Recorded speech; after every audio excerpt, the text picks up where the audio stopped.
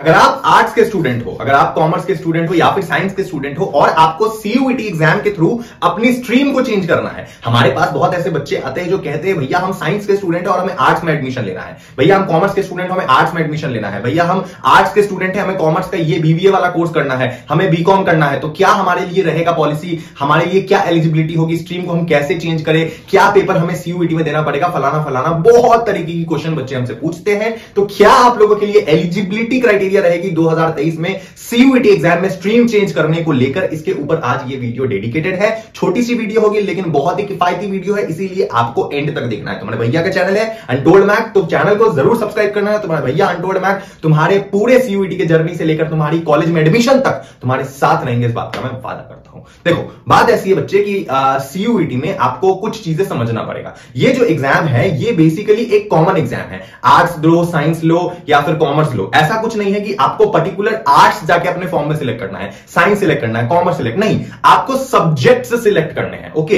And जो stream change की जब हम बात करते हैं तो वो सीयूईटी से मतलब नहीं है, वो यूनिवर्सिटी टू यूनिवर्सिटी डिपेंड करती है। अब आप अपनी एलिजिबिलिटी कैसे खोजोगे, ये मैं बताता हूँ।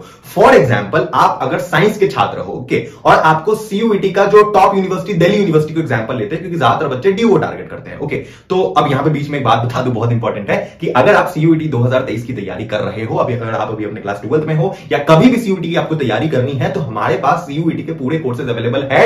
ए टू जेड हम पूरी प्रिपरेशन कराते हैं आर्ट्स के लिए भी साइंस के लिए भी कॉमर्स के लिए भी BA BCom BSc BTech BBA या फिर बीए एलएलबी जर्नलिज्म कोई भी कोर्स आपको करना है किसी भी प्रकार की तो आप हमारे व्हाट्सएप नंबर जो स्क्रीन के ऊपर गिवन है, इस व्हाट्सएप नंबर पर कॉन्टैक्ट करके आप हमारी कोर्स को ज्वाइन कर सकते हो। इस व्हाट्सएप नंबर पर जाके आपको बताना भैया, हमें ये डोमेन चाहिए, ये जीटी चाहिए, ये लैंग्वेज चाहिए इसके अकॉर्डिंग आपको कोर्स सेंड कर देंगे। ध्यान रखना, हमारे जो कोर्स है, वो इंग्लिश मीडियम में है। हम आपको डेमो वीडियोस भेज देंगे अगर आपको डेमो वीडियोस पसंद आती है, तभी हमारी कोर्स को लो नहीं पसंद आती है तो बिल्कुल मत लेना, ये मैं साफ़ खुद से आप लोगों को कह रहा हूँ, क्योंकि हमारा उद्देश्य ये नहीं है कि कोर्स बेचना, हमारा उद्देश्य है कि बच्चा का एग्ज़ाम निकलना चाहिए, बच्चा सेटिस्फाई होना चाहिए, चाहे आप खुद से निकालो या हमारे तरफ़ से निकालो, उससे कोई मतलब नहीं है एंड मैं खुद आप लोगों से जुड़ा रहूँगा एंड मेंटरशिप आपको देते रहूँगा, मेरी बातचीत खुद आप लोगों से होगी पर्सनली इस बात की टेंशन मत लो ओके अब भैया बात आती है कि भैया आपको मान लो फॉर एग्ज़ाम्पल लेना है टॉप कॉलेज में दिल्ली यूनिवर्सिटी में एडमिशन आप अगर साइंस के छात्र हो और आपको बीए में जाना है एग्ज़ाम्पल लेते हैं, यहाँ पे कॉमर्स आर्ट्स कुछ भी हो सकता है। तो आपके लिए क्या क्राइटेरिया होगा? देखो यूनिवर्सिटी टू यूनिवर्सिटी डिपेंड करती है। अब दिल्ली यूनिवर्सिटी का यह कहना है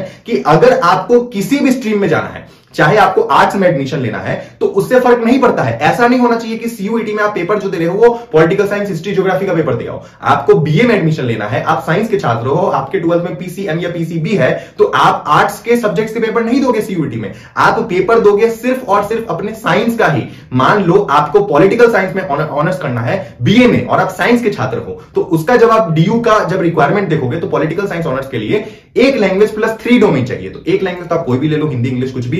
एंड जब थ्री डोमेन की बात करेंगे तो वहाँ पे आप बीए वाला डोमेन मत ले लेना। डोमेन वही लेना जो आपके क्लास ट्वेल्थ में है। जैसे कि physics chemistry mathematics physics chemistry biology कुछ भी हो सकती है। यहाँ पे कॉमर्स का भी बच्चा हो सकता है, कोई अकाउंट्स इकोनॉमिक्स बिज़नेस स्टडी तो अगर आपको स्ट्रीम चेंज करना है दिल्ली यूनिवर्सिटी के लिए तो आपको कुछ और करने की ज़रूरत नहीं है। अपनी ही पेपर को लेना जो पेपर तुम्हें देना है। अब मान लो कि तुम्हें बीए में एडमिशन लेना है, लेकिन जेएनयू से ओके तो जेएनयू का रिक्वायरमेंट है बीए में एडमिशन लेने के लिए। इंग्लिश लैंग्वेज और जनरल टेस्ट का आपको पेपर देना पड़ेगा। तो इसमें क्या दिक्कत है? इंग्लिश लैंग्वेज और जनरल टेस्ट का जब आपको पेपर देना है तो आपको स्ट्रीम का से क्या मतलब है? आपको सब्जेक्ट से क्या मतलब है? आप तो इंग्लिश और जीटी का पेपर दो। इसमें फिजिक्स केमिस्ट्री मैथमेटिक्स कोई भी डोमेन का तो कुछ काम नहीं है। तो आप इंग्लिश और जीटी का पेपर दो, आप जीएनयू के लिए एलिजिबल हो जाओगे। सेम बीएचयू भी कहती है कि इंग्लिश और जीटी का पेपर दो, आप बीए के मोस्ट ऑफ़ द कोर्सेज में एलिजिबल हो जाओगे। तो ये चीज़ आपको ध्यान देनी है कि यूनिवर्सिटी की क्या रिक्वायरमेंट है। अगर वो यूनिवर्सिटी की जो रिक्वायरमेंट है, उसका अगर आप नहीं फुलफिल करोगे तो आपकी एडमिशन नहीं हो पाएगी। अब ये किसी भी केस में हो सकता है, कोई बीए का बच्चा भी जा सकता है बीकॉम के कोर्स में।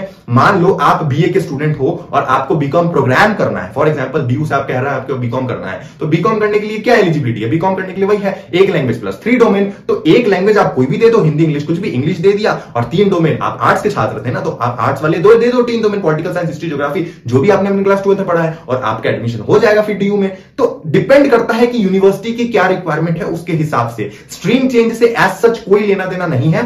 आपको यूनिवर्सिटी की रिक्वायरमेंट देखनी है। एंड ये आप कैसे पता करोगे? बहुत सिंपल है। इस स्टेप को फॉलो करो जो मैं बता रहा हूँ। सबसे पहले चले जाओ सीयूटी के ऑफिशियल वेबसाइट पे CUET dot Samarth dot AC dot in जो दिखा रहा हूँ स्क्रीन पे देखो। इस वेबसाइट पे जाने के बाद आपको यहाँ पे तीन डॉट दिखेगी, उस पर क्लिक करना या फिर लैपटॉप से खोल लेना। ऊपर आपको यूनिवर्सिटी नाम की एक ऑप्शन मिलेगी। सिलेबस मिलेगी यूनिवर्सिटी मिलेगी होम पेज मिलेगी। लेकिन यूनिवर्सिटी वाले ऑप्शन पे आपको क्लिक करना है, उस पर क्लिक करो। एंड जितने भी यूनिवर्सिटीज है DU JNU BHU Jamia AMU या जितने भी यूनिवर्सिटी सब के लिस्ट आपके सामने खुल जाएँगे। एंड सब पे क्लिक करके आप चेक कर सकते हो किसके लिए कौन से कोर्स में क्या एलिजिबिलिटी है, क्या रिक्वायरमेंट है, क्या क्राइटेरिया है? एंड उसके अकॉर्डिंग आप अपनी प्रिपरेशन शुरू कर सकते हो। एंड ये सब चीज़ जब आप पता कर लोगे तो उसके बाद अगर आपको हमारी कोर्स चाहिए तो व्हाट्सएप नंबर आपकी स्क्रीन के ऊपर गिवन है। इस व्हाट्सएप नंबर पे आप कॉन्टैक्ट करके हमें बता सकते हो कि भैया, हमें ये डोमेन ये लैंग्वेज और ये जीटी चाहिए। एंड उसके अकॉर्डिंग आपको पूरी कोर्स सेंड कर दी जाएगी। एंड देन आप अपनी प्रिपरेशन शुरू कर सकते हो। ठीक है? ये रही आपके लिए बहुत ही किफायती एंड बहुत ही इंपॉर्टेंट टॉपिक था मुझे ऐसा लगता है ये कवर करना बहुत ज़रूरी था।